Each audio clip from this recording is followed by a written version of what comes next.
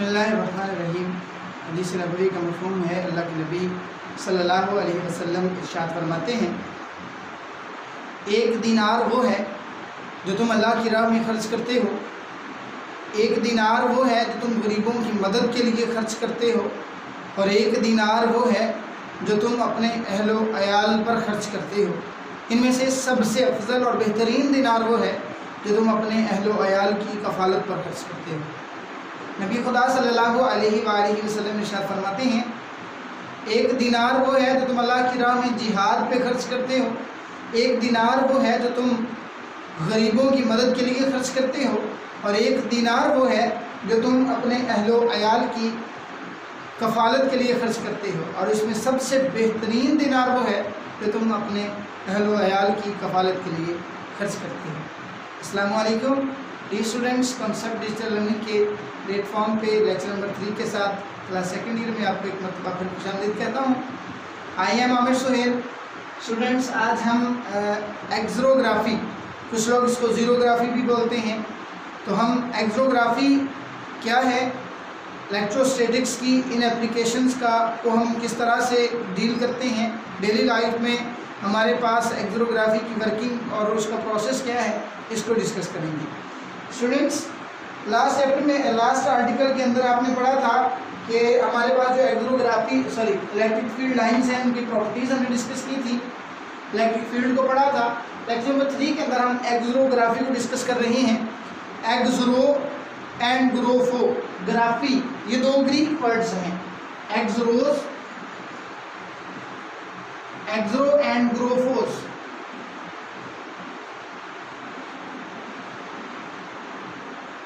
एक्सरो का मतलब होता है ड्राई एंड ग्रोफोस का मतलब होता है राइटिंग सो एक्सरोग्राफी का मतलब हुआ ड्राई राइटिंग यानी ऐसा राइटिंग जिसमें ड्राई इंक यूज़ हो, उसको एक्सरोग्राफी कहते हैं। और हमारी एक्सरोग्राफी में आमतौर पे जो यूज़ हो रही है, वो इंतहाई फ़ेमस मशीन जो है, जिसे फोटोकॉपियर मशीन कहते हैं, वो यूज़ हो रही है। Students xerography Greek word xeros and graphos से माखुज है, जिसका मतलब है ड्राई राइटिंग एक्सरो का मतलब ड्राई ग्रोफोस का मतलब राइटिंग स्टूडेंट्स एक्सरोग्राफी के रिलेटेड हमारे पास दो तरह के डिवाइसेस हैं. एक है फोटोकॉपियर मशीन और दूसरा है ink jet ink jet printer आज हम इस लेक्चर में फोटोग्राफियर फोटोकॉपियर मशीन जो है, वो उसकी कंस्ट्रक्शन उसका प्रिंसिपल उसकी वर्किंग इसको देखेंगे कि वो एक फ़ोटो कापियर हमारे पास किस तरह से फ़ोटो कापी प्रोवाइड करता है।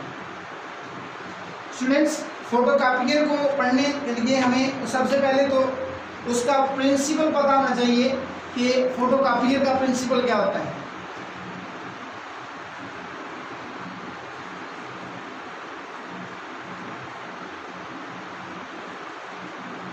फोटोकॉपियर मशीन या फोटोकॉपियर इसका वर्किंग प्रिंसिपल स्टूडेंट्स जब आपने आर्टिकल लिखना है तो सबसे पहले आपने इसका प्रिंसिपल लिखना है।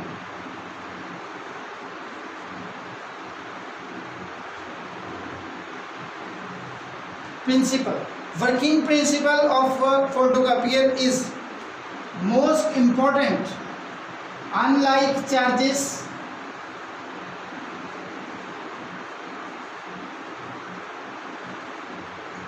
attract each other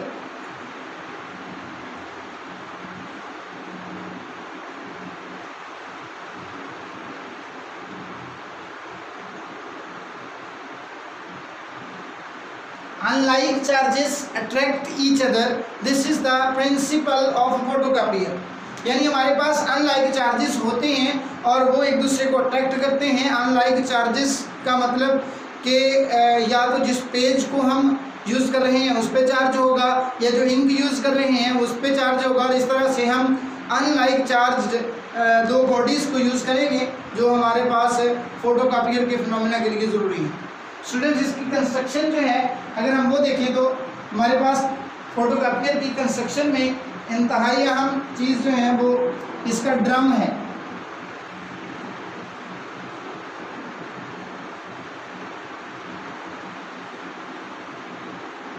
जी बेटे कंस्ट्रक्शन में सबसे पहला इसका जो पार्ट है, वो ड्रम है। इसके अंदर एक ड्रम होता है, जो दो मेटल्स से मिलकर बनता है। एक एल्यूमिनियम होती है और उसके ऊपर सेलिनियम होती है। यानी it made by aluminium and selenium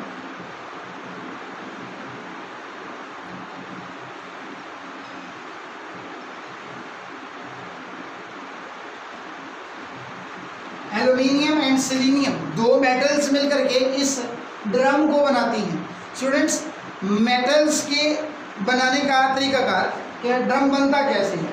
students एक एल्यूमिनियम की शीट यानी उसको फोल्ड करके ड्रम बना लिया जाता है और उसके ऊपर, जैसे हम दरवाजे के ऊपर रंग करते हैं, कोट करते हैं जस्ट लाइक दैट एल्यूमिनियम के ड्रम के ऊपर हम सेलिनियम की कोटिंग करते हैं।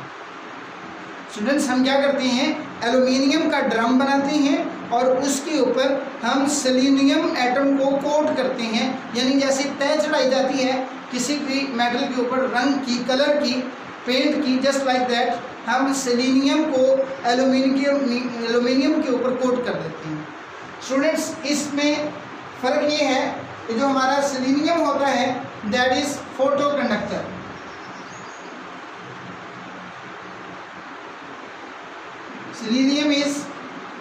photoconductor. Student photo conductor क्या होता है? हम ड्रम की कंस्ट्रक्शन पढ़ रहे हैं। फ़ोटो कंडक्टर ऐसा मटेरियल जो in the presence of light conduct करे और in the absence of light insulator हो। यानी जब इस सेलिनियम को लाइट में रखा जाएगा तो इसमें से करंट पैदा होगा पास करेगा। लेकिन जब ये सेलिनियम डार्क डार्कनेस में होगा, अंधेरे में होगा तो इसके, इस बस इसमें से किसी किस्म का कोई करंट पास नहीं करेगा। It will be insulator in darkness students aluminium और सेलिनियम का बना हुआ ये drum heart of the machine कहलाता है। फोटोकॉपियर मशीन का हार्ट होता है, दिल होता है सेलिनियम और एल्यूमिनियम का बना हुआ ये ड्रम स्टूडेंट्स हम इस सिलीनियम को नेगेटिवली चार्ज करते हैं और सॉरी पॉजिटिवली चार्ज करते हैं। ये सिलीनियम एटम एलिमेंट जो सिलीनियम की जो तय होती है, जो कोटिंग होती है, इसको हम दो वायर्स की मदद से, जिन्हें कोरोना वायर्स कहते हैं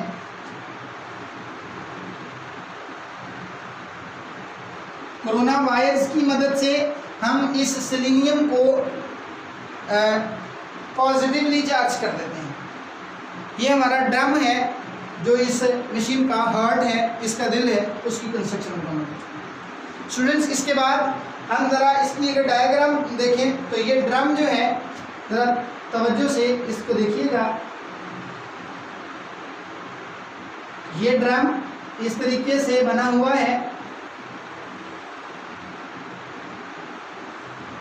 स्टूडेंट्स इस ड्रम के ऊपर हमारे पास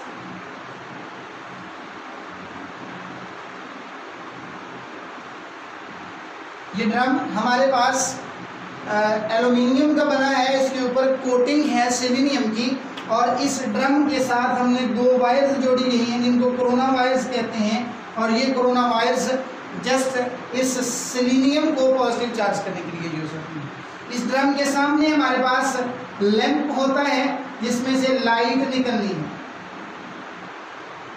लैंप इसमें से लाइट निकल करके यहाँ पे पढ़े फ़ोटो कॉपी जिस कागज़ को अपने जिस भी, जिस चीज़ का भी आपको प्रिंट चाहिए फ़ोटो कॉपी चाहिए, उसके ऊपर लाइट पड़ती है। लाइट यहाँ से रिफ्लेक्ट होने के बाद स्टूडेंट्स नीचे लगा है, इसकी कंस्ट्रक्शन में दूसरी चीज़ है लेंस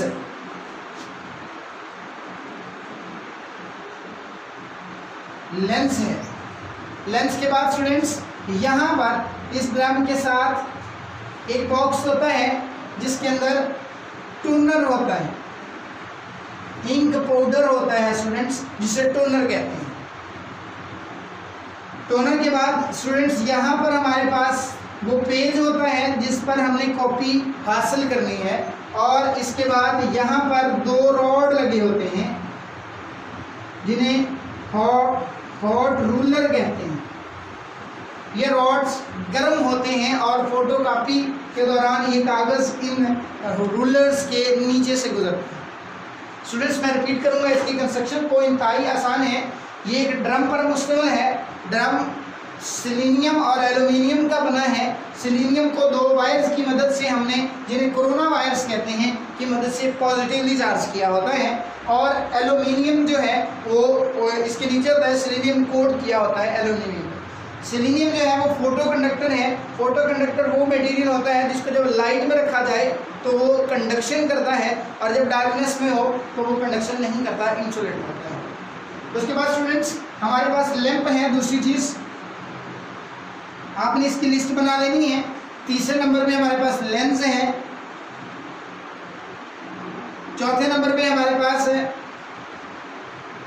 टोनर है। ये इंक पाउडर होता है, जिस कलर कलर का भी इंक आपको चाहिए, उस कलर का इंक इसके अंदर डाल करके पाउडर डाल करके इसको हमने नेगेटिवली चार्ज किया होता है। उसके बाद हमारे पास रूलर होते हैं। और उसके बाद हमारे पास एंड पे जो है वो पेज होता है, जिस पर हमने कॉपी हासिल करनी है। स्टूडेंट्स इसकी कंस्ट्रक्शन इंतहाई आसान है। उसके बाद हम इसकी वर्किंग देखते हैं। तवज्जो से, बस वर्किंग की तवज्जो करें कि क्या है। स्टूडेंट यहाँ से लैंप से लाइट निकलती है और ये लाइट इस पर जिस पेज को आपने कॉपी करना है, उससे जाके टकराती है। आपने अक्सर जब फ़ोटो कॉपी मशीन पे आप फ़ोटो कॉपी करवाने जाते हैं तो उसमें से लाइट पास करती हुई देखी होगी। वो लाइट यूँ गुजरती है और वापस आ जाती है। स्टूडेंट्स वो लाइट जो है, वो इस लेंस में से गुजरती हुई, इसके ऊपर सेलिनियम के ऊपर, यानी जो ड्रम है, उसके ऊपर पड़ती है। और ये लेंस जो है, वो उस लाइट को फोकस करवाता है सिलीनियम के ऊपर। स्टूडेंट्स जैसे ही लाइट सिलीनियम पर पड़ती है तो सिलीनियम फ़ोटो कंडक्टर होने की वजह से कंडक्शन करता है और जिस जिस हिस्से पर लाइट पड़ी है, उस उस हिस्से का चार्ज नीचे जा कर के एलुमिनियम के साथ मिल कर के न्यूट्रल हो जाता है। और हमारे पास बाकी जिन हिस्सों से लाइट रिफ्लेक्ट नहीं हुई जो ब्लैक थे या रिटर्न जो हिस्से होते हैं उन सब लाइट रिफ्लेक्ट नहीं होती, उनका charge as it is selenium के ऊपर मौजूद रहता है। चूँकि लाइट उन पर नहीं पड़ी, उस जगहों पर, लिहाजा वो पार्ट्स जो हैं स्पेलिंग वाले, लिखाई वाले राइटिंग वाले जितने भी हैं, वो सारे के सारे हिस्से as it is negatively sorry positively charge रहते हैं। स्टूडेंट जैसे ही ये ड्रम घूमता है तो आगे हमारे पास टोनर पड़ा हुआ है। टोनर का मतलब ब्लैक या किसी भी कलर की इंक जो है, वो इंक हमारे पास इंक पाउडर की फॉर्म में है और उस पाउडर को हमने नेगेटिवली चार्ज किया हो स्टूडेंट सिलीनियम पे, के वो हिस्से जो कागज़ के ऊपर जिनका इमेज बना है as as as it is charge की शक्ल में वो जब मूव करते हैं पॉजिटिव चार्ज लेकर के सिलिंग टोनर के करीब आते हैं सामने आते हैं तो चूँकि टोनर नेगेटिवली चार्ज है सिलीनियम पॉजिटिवली चार्ज है, और इसका प्रिंसिपल है unlike charges attract each other तो ये पॉजिटिव इस टोनर को अपनी तरफ़ अट्रैक्ट कर लेते हैं। और स्टूडेंट बोर्ड सॉरी वो जो आपका ये है, फ़र्ज़ कर लें आपने ए लिखा हुआ है तो ए के ये वाले जरे ये वाली जगह जो रिटर्न है, आपको जो नज़र आ रही है, ये वाइट जो है, ये न्यूट्रल हो चुका है। सिर्फ़ जहाँ पे आपकी राइटिंग है इंक मौजूद थी, जहाँ से लाइट रिफ्लेक्ट नहीं हुई, वो वाली जगह पॉजिटिवली चार्ज थी, ये डोनर इस हिस्से पर आकर के मिल जाएगा। और इस तरह से पूरे पेज की जो इंक होगी, वो टोनर जो है, वो पूरे पेज की राइटिंग को इसी तरीके से न्यूट्रल अब ये चार्ज हो चुका है। अब ये जब इंक वाला इंक से भरा अल्फाज वाला ड्रम जो है और मूव करता है, नीचे पेपर पड़ा हुआ ये पेपर इसके साथ टच करता है और वो एज इट इज़ उसके ऊपर कॉपी हो जाता है। जब बेटा ये इंक इसके ऊपर कॉपी हो जाती है, फिर इस पेपर को मूव करवाया जाता है। मूव करता है ऑटोमेटिकली इन रूलर्स में से गुजरता है। ये रूलर बेटा जी वेरी हॉट ये रूलर बहुत गर्म होते हैं और जब ये पेपर इनमें से गुजरता है तो उस इंक को उसके ऊपर पक्का कर देते हैं चिस्पा कर देते हैं। और ये फिक्स्ड हो जाती है फिक्स इंक हो जाती है। ये फिक्स्ड इंक लेकर के जब हमारे पास निकलता है तो ये गर्म होता है और आपके पास एक कॉपी तैयार होती है, जिस, जिसका, जो मटेरियल आपने ऊपर रखा है एज लाइक दैट उसकी तरह की आपको कॉपी मिल जाती है। स्टूडेंट इंतहाई आसान टॉपिक है और ये चैप्टर के लिहाज से इलेक्ट्रोस्टेटिक की पहली एप्लीकेशन थी, जिसको हमने पढ़ा। कि चार्जेस रेस्ट में थे, ठीक है? सिर्फ़ लाइट पास की न्यूट्रल हुआ और टोनर आकर के टकराया और हमारे पास फ़ोटो कापी कापी कापी के प्रोसेस के अंदर जो पेज था, उसके ऊपर एज इट इज़ ऊपर वाला सारा जो है, वो नीचे आकर के इंक के साथ इस कागज़ के ऊपर आ गया और उसको जब हमने पास किया रूलर्स में से तो वो रूलर्स उसको हॉट करके उसके ऊपर उसको उन्होंने पक्का कर दिया। यानी वो अब इसके ऊपर इसी का हिस्सा बन चुका। अब हम उसको मतलब हाथ से रेज नहीं कर सकते। अब हम उसको रेज नहीं कर सकते। वो उसके ऊपर हीट की वजह से उसके अंदर जज्ब हो चुकी है। स्टूडेंट दोबारा से देखिएगा एक्सरोग्राफी जो है एक्सरो और ग्रोफोज ग्रीक वर्ड से निकला है, जिसका मतलब है ड्राई राइटिंग एक्सरोग्राफी की पहली एप्लीकेशन जो है स्टेट इलेक्ट्रोस्टेटिक्स की, वो है फ़ोटो कापियर फ़ोटो कापियर का प्रिंसिपल है बेटा जी unlike charges attract each other यानी इसके अंदर दो तरह के चार्जेस यूज़ किए जाते हैं, जो अनलाइक होते हैं और अनलाइक चार्जेस यानी इस प्रिंसिपल के तहत हमारे पास एक फ़ोटो कापी हासिल हो जाती है। इसकी कंस्ट्रक्शन में मेन पार्ट जो है, वो इस मशीन का ड्रम होता है, जो दो मेटल्स एल्यूमिनियम और सिलीनियम से मिलकर बनता है। सिलीनियम फ़ोटो कंडक्टर होती है, जब इसको लाइट के अंदर रखा जाता है तो इस, ये कंडक्ट करता है। और जैसे ही ये अंधेरे में होता है डार्कनेस में होता है तो इसमें किसी किस्म का कोई कंडक्शन नहीं होता। स्टूडेंट जैसे ही हम आगे चलते हैं, हमारे पास लेंस है लैंप है लेंस है टोनर है पेजेस हैं और रूलर है। स्टूडेंट्स ये वो पाँच चार चार पाँच चीज़ें हैं जो इसकी कंस्ट्रक्शन के मेन पार्ट्स हैं।